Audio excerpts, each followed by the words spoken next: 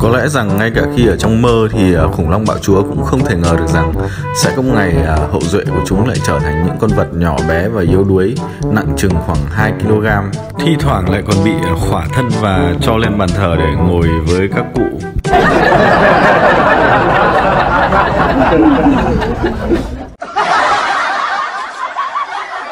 Tyrannosaurus rex hay còn gọi là bạo long hoặc khủng long bạo chúa là một loài khủng long vô cùng nổi tiếng với rất nhiều mẫu vật hóa thạch đã được tìm thấy, từ những cái à, con có kích thước nhỏ khoảng 30 kg cho đến những con có kích thước rất lớn. Khủng long bạo chúa vẫn nổi lên trong à, văn hóa đương đại, như là một loài à, động vật săn mồi lớn nhất mọi thời đại trên cạn. Mặc cho sự tranh luận diễn ra gay gắt trong các giới khoa học liên quan đến hành vi săn mồi và những cái đặc tính sinh học khác của loài vật này. Người ta đang tranh luận với nhau rằng cái liệu cái loài khủng long bạo chúa này là động vật săn mồi hay là loài động vật ăn xác thối còn với quan điểm của mình thì à, khủng long bạo chúa là một loài động vật à, săn mồi, đứng đầu bảng, đứng đầu chuỗi thức ăn ở trong cái thời kỳ mà nó sinh sống. Đơn giản vì đối chiếu với các hệ sinh thái hiện tại thì các bạn có thể nhìn thấy rằng những loài động vật ăn xác thối thì luôn sống cạnh những cái loài động vật săn mồi đầu bảng đơn giản như là cái loài linh cẩu, thì luôn sống rất gần với sư tử. Ngoài ra thì còn có kền kền. Tuy nhiên thì trong thời kỳ của T-Rex thì chúng ta không tìm được mẫu vật của loài động vật nào có khả năng săn mồi và nguy hiểm hơn ờ, T-Rex. Do đó mình nghĩ rằng T-Rex sẽ là cái loài động vật săn mồi chủ động. Trở lại với cái video ngày hôm nay thì mình đã suy nghĩ rất nhiều về cách vẽ con T-Rex, Về việc vẽ khủng long bạo chúa có lông hay không có lông. Tuy nhiên thì mấy cái hình có lông thì nhìn khá là bựa. Do đó mình ờ, quyết định vẽ con khủng long bạo chúa này theo cái phong cách ở trong phim Jurassic World. Video thì ờ, tương đối là chi tiết, do đó các bạn ờ, chịu khó theo dõi thì sẽ thực hiện được theo mình. Giờ chúng ta bắt đầu vào video các bạn nhé.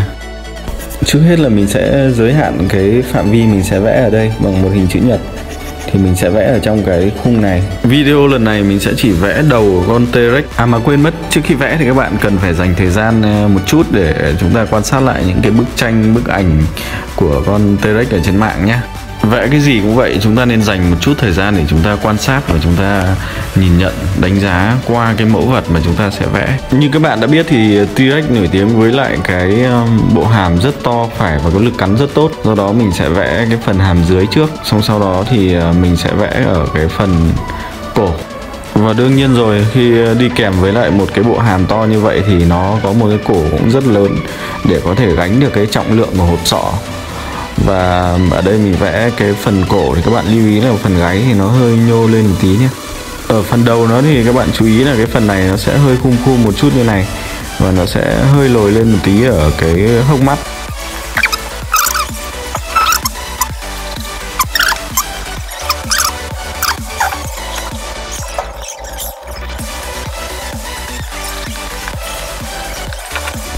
T-Rex thì có một cái miệng thì tương đối là lớn có thể nói nôm na như là rộng đến tận mang tai vậy, bởi vì nó có cái khóe miệng rất sâu về phía sau.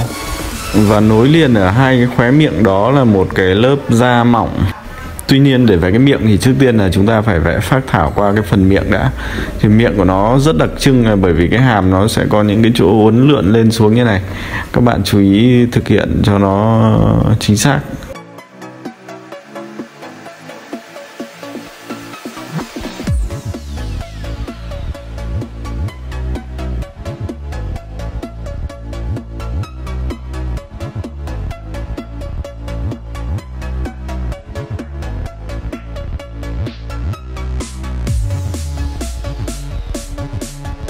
Như vậy là chúng ta đã, cơ bản là phát thảo xong cái phần miệng của con à, T-Rex. Các bạn có thể nhìn thấy là cái miệng nó rất rất đặc trưng. Và mình, ở đây là mình vẽ cho nó hơi mở một tí, Cho nó sinh động. Tiếp theo thì mình sẽ vẽ một cái G ở phía trên à, mắt của con T-Rex. Thì con T-Rex nó sẽ có một cái G rất lớn ở phía bên trên mắt. Và cái gờ này sẽ kéo dài từ phần hốc mắt xuống đến ờ, gần sát với lại ờ, phía trước mõm gần với mũi. Nói chung là cái gờ này nó sẽ nổi lên là nó rất, rất dài như thế này.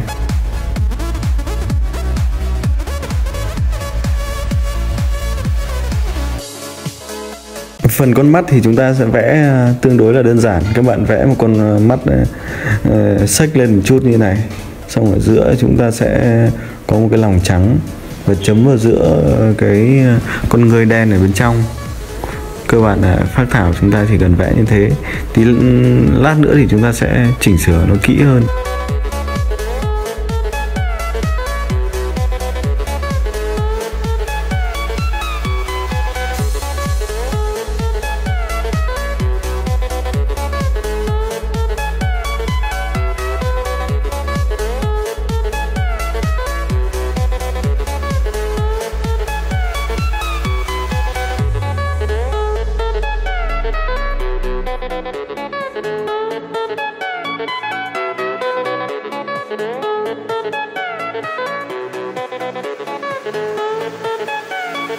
Tiếp theo là phần à, vẽ những cái răng.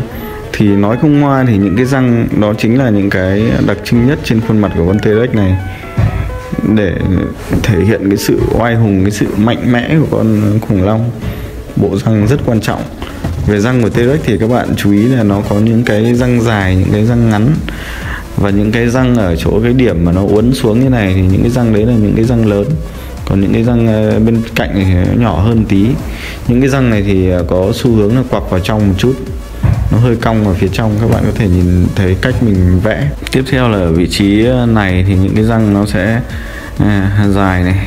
Những cái răng đây nó sẽ dài tí nữa vòng qua đằng răng cửa thì nó lại ngắn hơn tí. Răng ở phần hàm dưới thì cũng vẽ tương tự như vậy tuy nhiên nó sẽ ngắn hơn một chút và nó đều nhau hơn một chút.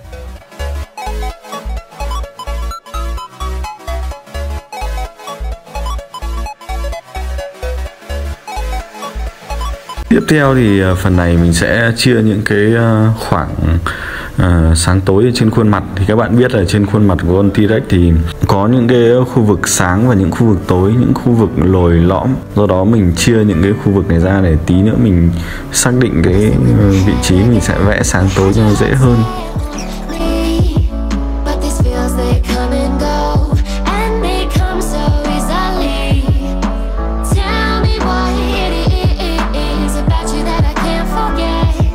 Sau khi ờ, chia xong các khu vực sáng tối thì bây giờ mình sẽ đánh chỉ nha các bạn nha.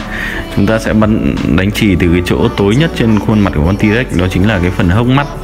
Hốc mắt này sẽ tối và tí nữa chúng ta sẽ để con người nó màu trắng, do đó nó rất nổi bật cái con mắt. Trước hết là mình sẽ đánh chỉ ở chỗ hốc mắt này. Cái phần này sẽ lõm vào này các bạn này. Ở cái phần này thì ở bên dưới cái g này thì ờ, đương nhiên là nó sẽ tối thôi các bạn, quan sát cách mình đánh sáng tối nhé ở những vị trí nào, vị trí nào cần tối thì ờ, các bạn thực hiện ờ, theo mình.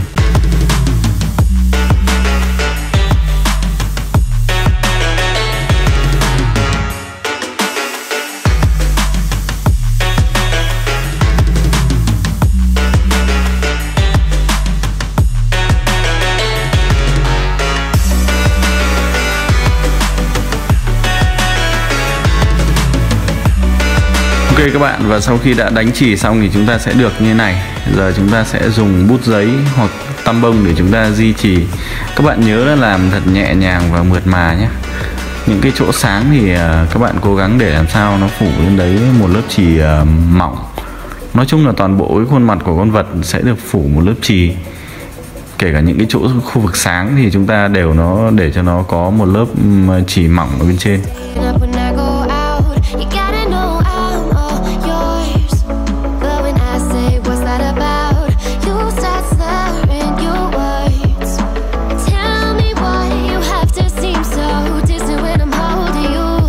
Một phần à, khá quan trọng khác khi vẽ à, một con T-Rex, đó chính là à, việc vẽ các nếp nhăn ở trên cổ và trên cơ thể của con khủng long này.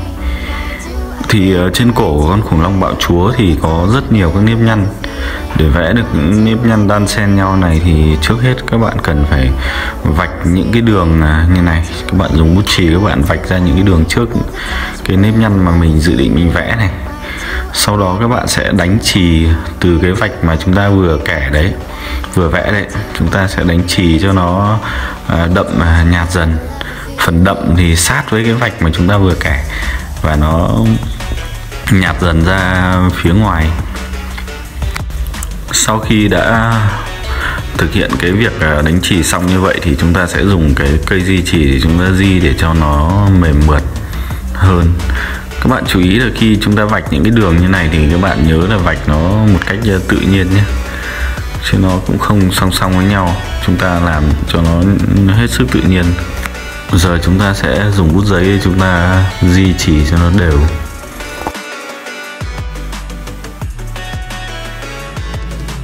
Sau khi di chỉ xong thì các bạn sẽ dùng cái tẩy xét này để các bạn tẩy các bạn nhớ là chúng ta sẽ tẩy về một phía của cái vệt mà chúng ta vừa vẽ đấy. Một bên thì chúng ta sẽ đánh chỉ đen, còn một bên thì chúng ta sẽ tẩy sáng. Các bạn cũng cố gắng ờ, tẩy cho làm sao cho cái sắc độ của chúng ta nó sẽ ờ, ờ, đậm dần. Ví dụ như ở cái đường này chúng ta tẩy sáng kia thì chúng ta vẽ làm sao, chúng ta tẩy làm sao cho nó cho nó cái sắc độ nó đậm dần. Ở phần đỉnh của cái nếp nhăn thì nó sẽ sáng như vậy. Do nó ờ, ở cao hơn do nó, nó tiếp xúc với ánh sáng nên nó sẽ sáng hơn như vậy. Và đối với tất cả các nếp nhăn thì chúng ta đều làm như vậy. Các bạn có thể thấy hai cái nếp nhăn mà mình vẽ ở dưới cái phần cổ kia. Nó rất tự nhiên.